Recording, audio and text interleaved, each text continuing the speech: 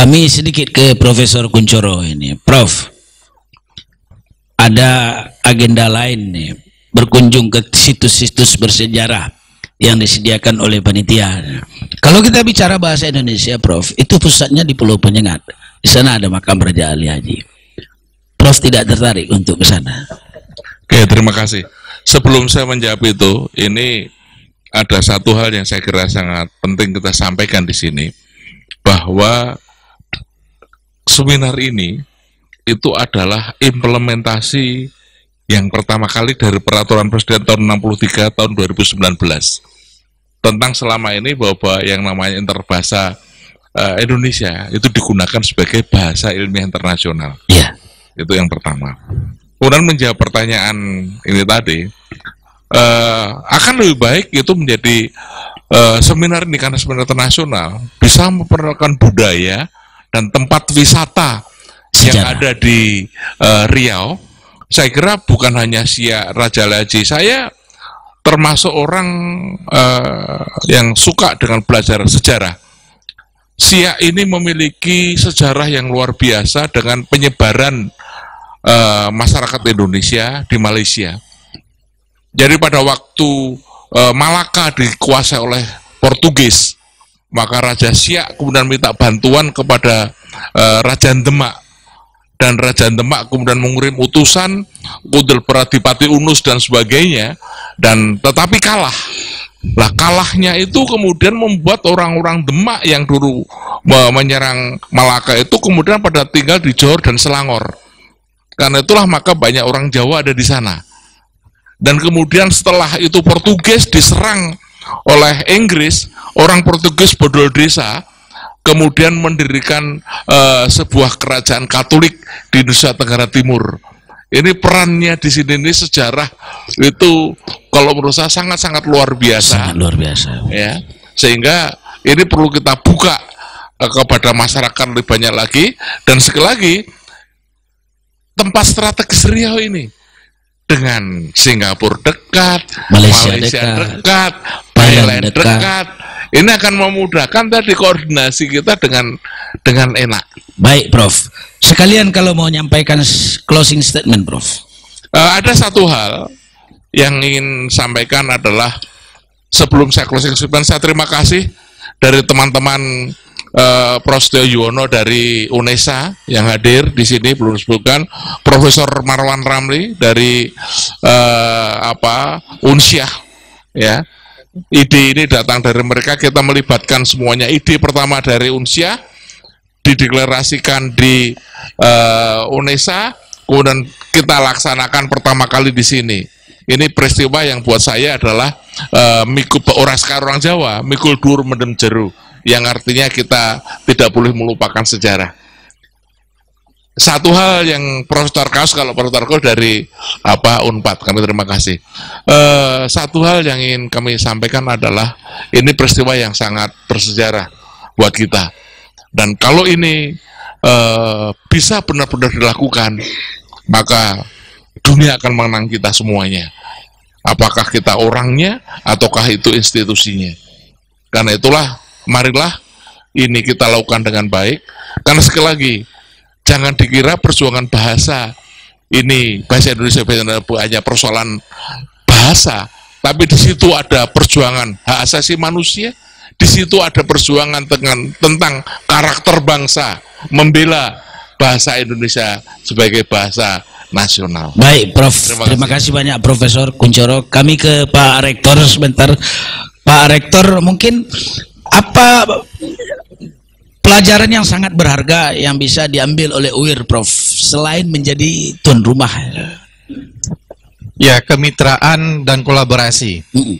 Karena insya Allah yang datang sekarangnya sudah dari lima perguruan tinggi negeri, para guru besar.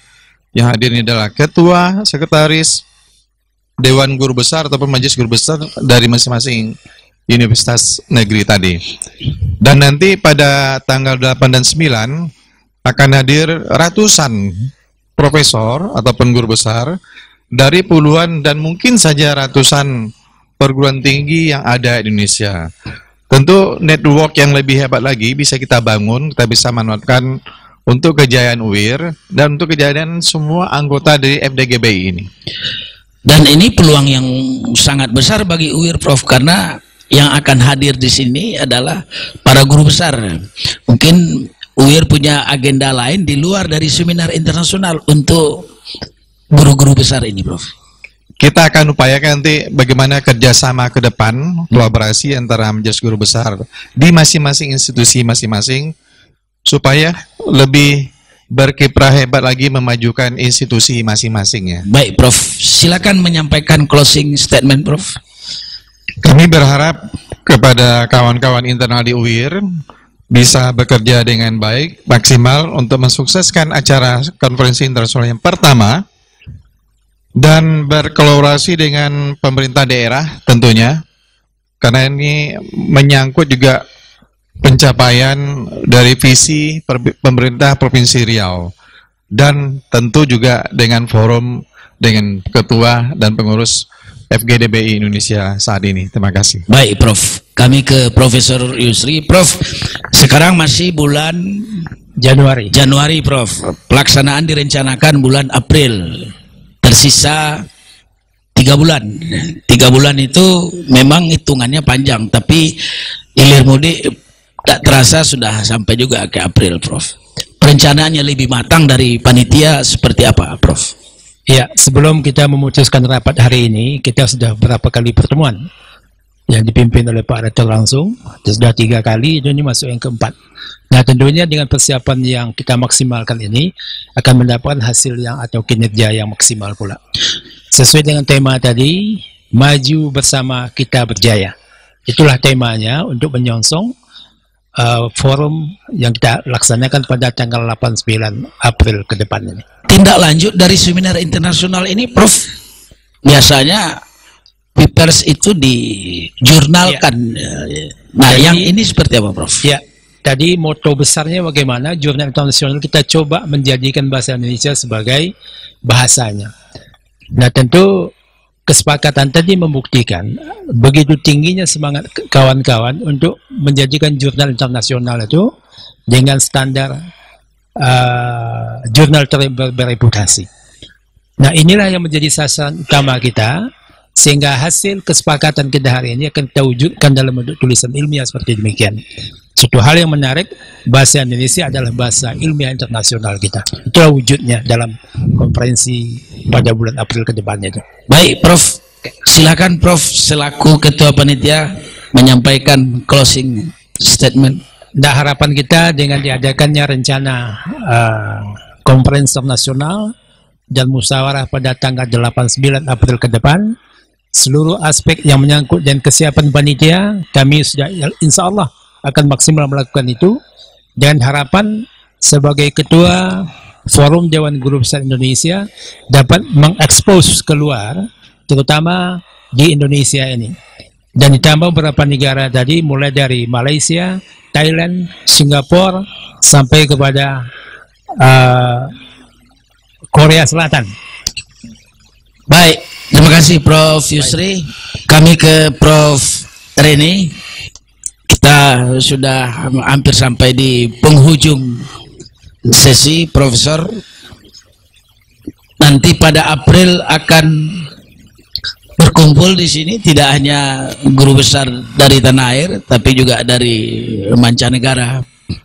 Apa yang membuat Profesor lebih happy untuk bertukar ilmu dengan teman-teman dari mancanegara.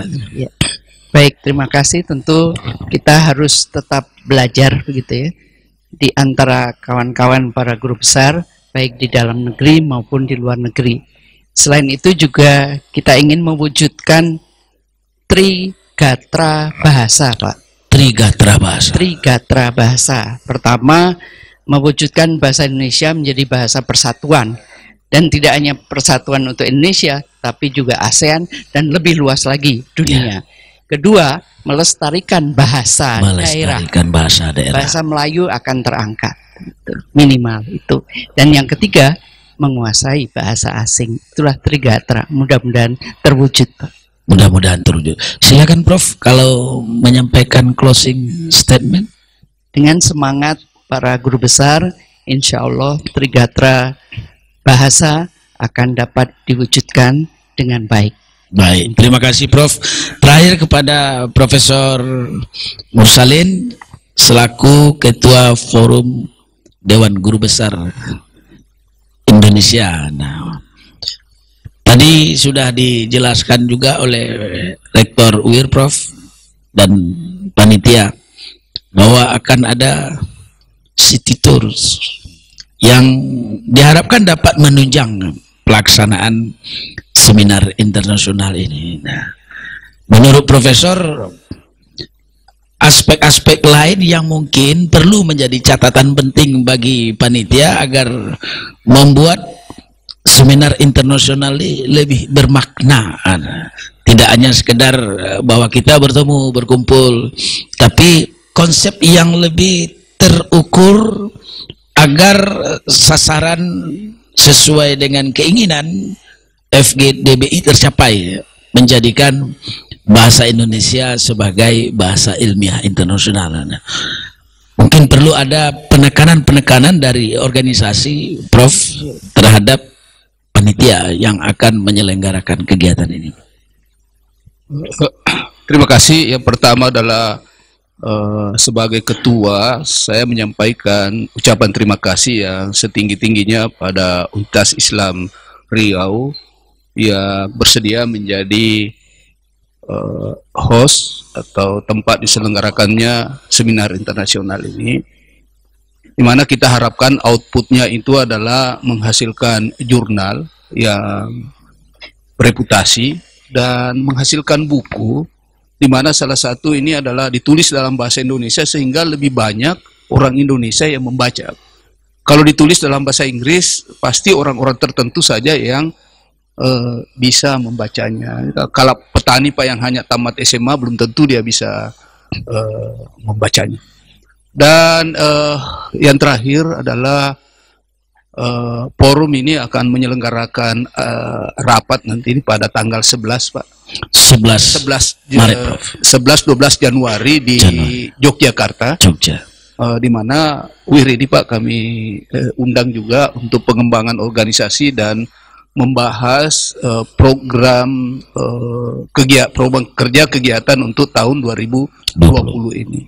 Dan terakhir eh, semoga Universitas eh, Islam Riau ini sukses dan berjaya terus Pak. Terima kasih. Amin, amin. Baik, demikian pemirsa, di mana pun Anda berada, bincang-bincang kami, Umas dan Protokoler Universitas Islam Riau bersama lima orang guru besar yang pada 8 sampai 9 April mendatang akan melaksanakan seminar internasional yang pertama di Universitas Islam Riau. Nah, jangan lupa seminar ini seminar yang pertama berskala internasional dengan bahasa Indonesia. Terima kasih kepada Profesor Mursalin, terima kasih kepada Profesor Kuncoro, terima kasih kepada Profesor Reni, Profesor Safrinaldi dan Profesor Yusri Munaf. Kita bertemu pada lain waktu yang akan datang. Wassalamualaikum warahmatullahi wabarakatuh.